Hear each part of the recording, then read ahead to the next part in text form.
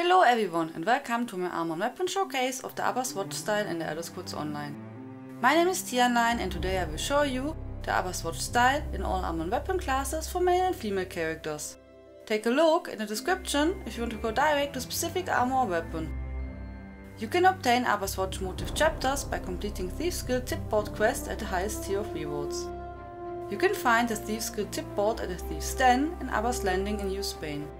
There are four types of quests, and if you don't like a specific quest, you can abandon it and pick up a new one.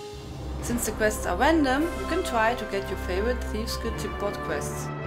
Also keep in mind to complete always all three stages of the quest to receive a large laundered shipment box, since you can only find in this large laundered shipment boxes Abah's Watch Motif chapters.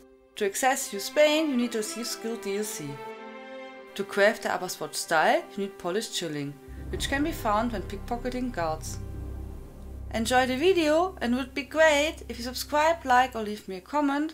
Have a nice day and until next time, tschüss!